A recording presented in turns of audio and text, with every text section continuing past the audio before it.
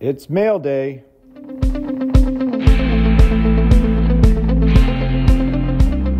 All right, good afternoon, everybody. Got another mail day. I uh, got a couple items that I received for my PC. Um, before I get into these, if you don't mind, if you could hit that like and subscribe, that would help me grow this channel.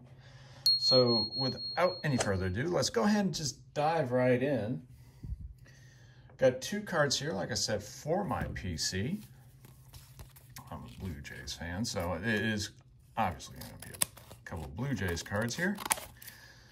Now, I started off collecting all things Blue Jays, but as time went on, I started refining what I was after, going after the parallels, and then eventually, so you know what? It is the numbered and the autograph that I really want to focus on. Um, but doesn't mean I'm going to look a gift horse in the mouth when I come across a car that isn't um, numbered or autographed if it's something that I don't have yet. So look at it as a stand-in until I get what I'm looking for. So this one was pretty thoughtfully um, packaged. Uh, so it's nice and safe here. Got the uh, purple um, out of 250 for Vladimir Guerrero Jr. Now, what I was really hoping to get was the um, the blue, um, but Vladdy being Vladdy, those cards were quite a bit more expensive. Um, but also got in here from the same person. So big mail day for me here. So we got the purple Topps Finest was 2023. Got an Otto Lopez rookie from last year. Um, I think he's, during the 23 season, he was still on the 40-man roster. Um, this is not numbered, and this is where I'll have one of my exceptions here, but it is a color match. Um, it's the blue prism. And then the uh, Topps Pristine, numbered out of 75. This is the blue parallel um, Vladimir Guerrero Jr. So first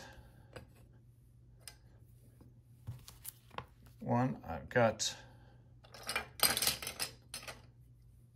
three to put up here. All right, let's get into the next one.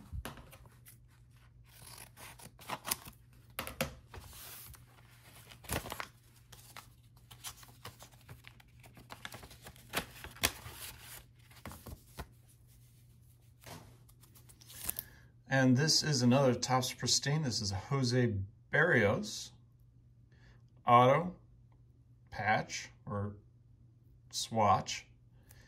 And this does say game used memorabilia. Now, I don't know that it will say which game, but it does say it's game used. Now, it's red. I have you wondering, well, what the heck? It's the Blue Jays. That much red? Well, it's not necessarily the maple leaf, but they do have a red uniform and one that they wore quite a bit toward the end of the 2022 season um, because it was bringing them good luck.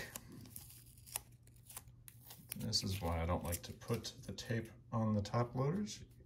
Even with painter's tape, you can still get some residue. So I will have to take care of that.